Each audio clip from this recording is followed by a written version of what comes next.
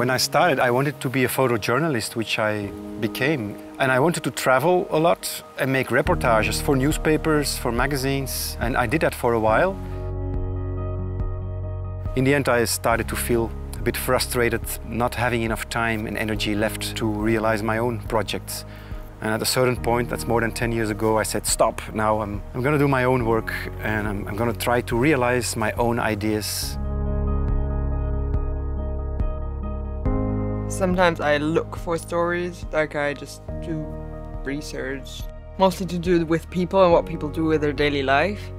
I always look for the best angle and just sit there and just wait. And then don't use your camera for one or two days and just make the people feel comfortable with you. Just slowly start taking pictures. Other things will appear that are much better just because the people feel comfortable with you now.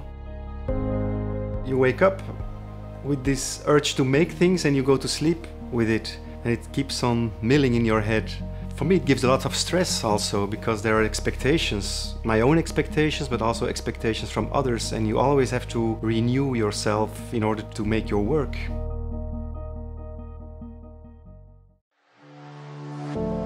With the Zeiss Photography Award, the international resonance of this award is, is, is more important. This award really stimulates you to do what you do, to continue working. You get good lenses and you get a budget for your next project. After winning the Zeiss Photography Award this year, there were a lot of requests coming in from international magazines, also the big magazines like Paris Match and Vanity Fair. So a lot of international attention all of a sudden.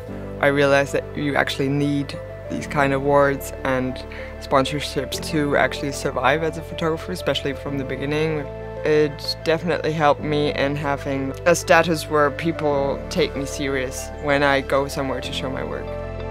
Suddenly, people knew who I was, and oh, you're the girl with the Indian trade story. And I was like, ooh, cool. I don't know you, but you know me. you know, it's just like a really weird realizing that people know you because you did something that they think is cool. People trust me that I won't mess up when they send me there. They trust me that I can bring the images they need that explain the way the people live there. And that felt really good.